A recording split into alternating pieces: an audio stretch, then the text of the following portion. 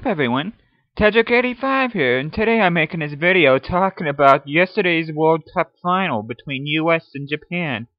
And I, I, I as you can probably tell, I'm still pretty stoked, uh, stoked at the fact that, uh, unless you guys have been living under a rock or something, people should already know, or at least heard that, uh, the US did indeed win their third World Cup title, and I, I, I gotta be honest, you know, I, I was expecting them to bring their best, especially against a team that beat them four years ago, but I honestly did not expect them to go out with their guns blazing right off the bat. I mean, within the first five minutes, it was already 2 nothing, and by the 16th minute, it was already 4 nothing. That, you know, even the most optimistic U.S. women's uh, national team fan did not see that coming. I know I certainly didn't see that coming, and it's definitely something that we didn't get accustomed to seeing in, in this tournament. You know that the U.S. have always had opportunities to get on the scoreboard right off the bat in this tournament, but have always failed to get the back of the net. But to see them going out there, bam, bam, bam, bam, just like that, with a four nothing lead inside 16 minutes. You can definitely tell that this team was really hungry for this World Cup title, and they just they just did not let up and it, it was it was so awesome seeing, and especially Carli Lloyd's third goal that gave her the hat trick, which is the fastest and earliest, uh, well, not the fastest, but the earliest uh, World Cup uh, hat trick in history, and it's only she is only the second person to record a hat trick in a World Cup final. Geoff Hurst did it with England back in 1966 when uh, England won their first and only World Cup title that year, but uh, that third goal that she scored, I think, is perhaps the greatest goal I've ever seen in any women's game. I mean, it was just unbelievable, and you can tell, that, uh, and I absolutely agree with the commentators in that, uh, whether it's uh, in the game itself or the Fox analysts in that, but uh, you can definitely tell she was just absolutely teeming with confidence at po- at that point. I mean, the first two goals she scored, they were set up from set pieces and that, both from corners, and you can definitely tell that the confidence was there, and she's also the first person to record four, uh, at least one goal in four consecutive World Cup games, and uh, she is uh, absolutely deserving of the golden ball that she got awarded to for most valuable player in the tournament. I know uh, I, I bragged about Re Megan Rapinoe, which I I'm surprised no one called me out on that. Uh, I've been mispronouncing her name this whole time as Rapinoe, but uh, I thought that she was the player of the tournament, but Carli Lloyd has certainly stepped up and it certainly showed against Japan. Where the U.S. offense, I know I've been very critical of them, and well, not so much critical, but I knew they could do better. But she really helped the offense wake up in this game and that, and it couldn't have helped. It couldn't have picked a better time, and it couldn't have happened against a better opponent. I mean, they just poured it on Japan, and it was just awesome to see that. And and let's not leave out Lauren Holiday, uh, who scored the third goal to make it 3 nothing for the U.S. That volley was just incredible. I mean, the technique and the shot itself and that was just excellent. And the, Jap the Japanese goalkeeper, in her defense, really did not stand a chance in that shot. And, uh, but yeah, um, of course, Japan ended up getting a couple goals back and make it 4-2, but at that time, even when Carli Lloyd scored that goal from ha- from midfield, you could pretty much sense that the the game was pretty much over and that, and it, and it certainly was because the U.S. certainly, even though they got edged out in possession, I believe it was 52% to 48 Japan, uh, percent uh, Japan's favor. You could definitely tell that the U.S. instilled their will on the game, and they did so early, and they did not let up. And uh, Tobin Heath en- ended up uh, scoring the fifth goal for the U.S. to make it 5-2, which is the highest scoring World Cup final in history uh, in, in terms of women's World Cup final. And uh, this is the first time that the U.S. also scored five goals in the World Cup game since 2003 when they scored five against Nigeria. But uh, this was definitely the game that uh, most of the, if not all, U.S. women's soccer fans were waiting to see. I know this is the game that I've been waiting for a whole tournament, and uh, despite their early struggles on in the tournament, they more than deserved this title and that, and credit to the players for not giving up in that, and especially credit to the coaching staff, especially Jill Ellis, and I think she did a, an amazing job managing these players. and she absolutely deserves uh, plaudits for uh, carrying this team to the first World Cup victory in 16 years. And uh, but yeah, it's definitely a really special moment in that. And I, I gotta admit, I I got a little misty-eyed when I saw the U.S. team getting their medals and lifting that World Cup trophy because I remember back in 1999 when Brandie Chastain scored a penalty kick uh, that won the World Cup for the U.S.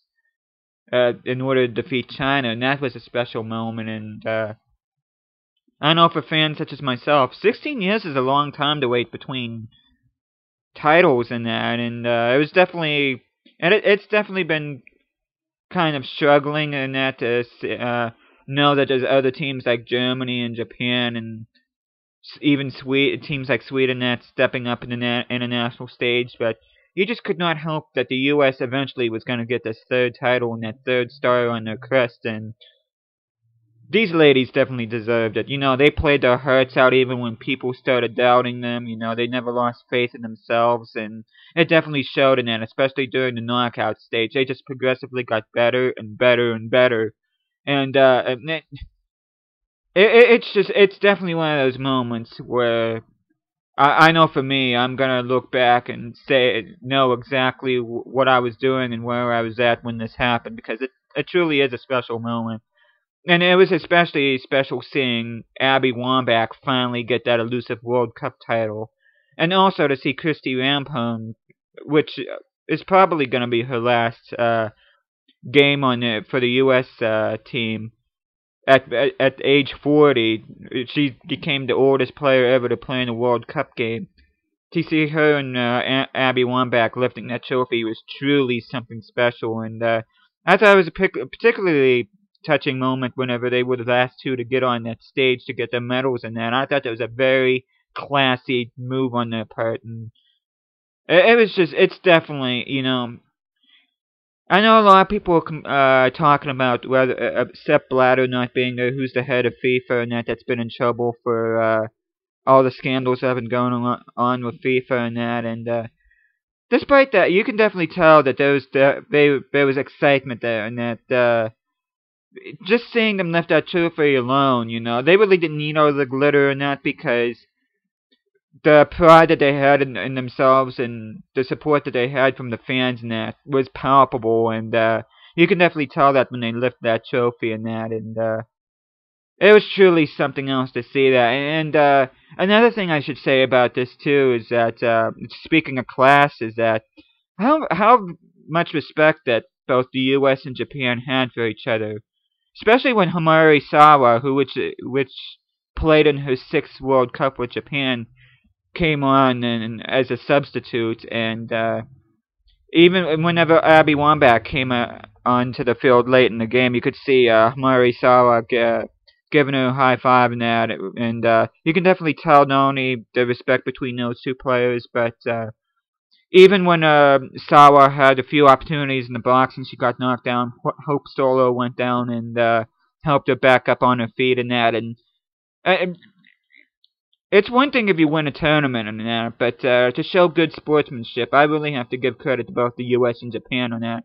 I think that was a very not only well played, but very respectable final where there was really no animosity, even though there is a rivalry there, there's no doubt, especially after Japan beat the U.S. in the 2011 World Cup and the U.S. beat them a year later in the Olympics and that. But uh, it was definitely nice to see in that, and uh, this team definitely deserves to be seen as role models to young women across this country and that because they definitely did this country proud, and I couldn't be more proud to be a supporter of them, and I couldn't be more happy for them to see them get those medals and lift that trophy and that, and because it, it's certainly an awesome thing to see, and uh, this has me excited about the future. And of course, uh, Abby Wambach's this was probably her last World Cup game, and uh, of course Christie Rampone and and uh, some of the other veterans in there probably won't be there four years from now. So it's going to be a different looking team, but uh,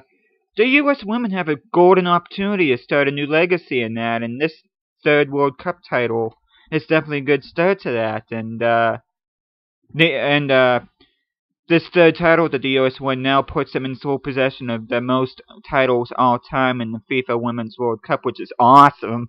And uh, let's just uh, we just gotta see what happens in the future. I know I'm I'm definitely not pessimistic at all. As a matter of fact, I'm very excited to see what this team can do in the do in the future and that. And uh, the offense just got better and better with each game, and the defense has been very consistent throughout. And especially Hope Solo, you know, if with the, I know I talk about Megan Rapinoe and Carli Lloyd and that being good players and that on this team, but if if there had been another worthy candidate to win that Golden Ball, it would have been Hope Solo even though she did win the Golden Glove for the best goalkeeper in that. But uh, all her personal struggles aside, in that she did a, a fantastic job in front of that net for the U.S. and uh, the fans should really not ask for anything more than what she did in the tournament because I thought she was just unbelievable in that, and she definitely deserves to be in, spoken of in the same sentence as uh, Briana Scurry, who was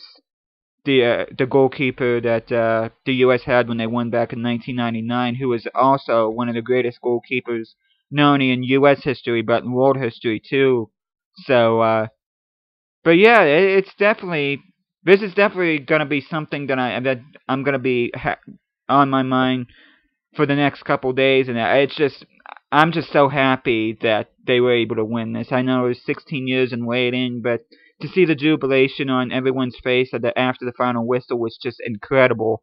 And uh, I, I, I just I, I just can't help but smile even when I'm recording this because of how exciting and that this has been. And uh, this really has been a really good World Cup tournament in general, not just simply because the U.S. won in that, which I think I'm going to make a separate video talking about my overall impressions of the World Cup as a whole in that. But uh, but yeah, that's pretty much it I have to say about this, and uh, I'm looking forward to hearing what you guys have to say. If you have any comments on that, how you feel about the how the U.S. did not only in this game, but as the tournament as a whole, what you guys think about what's going to happen in the future and that, and even if you want to leave comments about uh, individual players, not just about the team in whole. What do you think about how Abby Wambach did in the tournament, or Carli Lloyd, or how awesome some of the goals were in that, and even talk about the defense in that. That they did a fantastic job too. So, uh,